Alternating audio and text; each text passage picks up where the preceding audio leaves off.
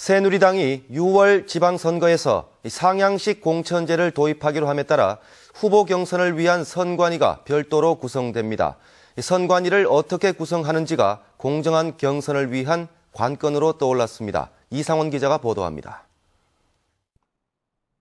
상향식 공천제 도입 결정으로 새누리당은 당헌 당규에 따라 경선으로 6월 지방선거 후보를 선출하게 됩니다. 중앙 정치권과 국회의원들이 공천을 좌지우지하던 관행을 없애자는 게 경선 도입의 취지입니다.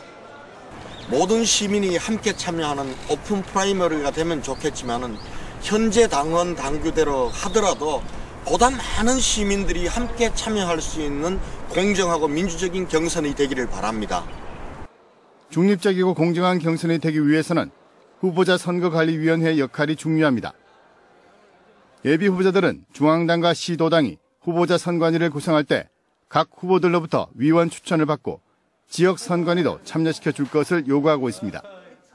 전체 선거 인수를 몇 명을 할 것이냐, 선거운동 방법을 모여서 할 거냐, 순회하면서 할 거냐, 투표소를 모여서 할 거냐, 각 지구당 당협별로 할 거냐, 이런 방법은 선거관리위원회에서 정하기에 따라서 달라질 수 있습니다.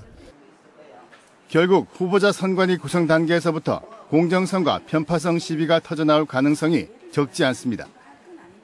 새누리당의 상향식 공천제가 공천권을 국민에게 돌려준다는 제도 본래의 취지를 살리기 위해서는 후보자들이 자신의 정책과 비전을 선거인단에게 정확하고 공정하게 알릴 수 있도록 경선의 장을 마련해주는 일일 것입니다. MBC 뉴스 이상훈입니다.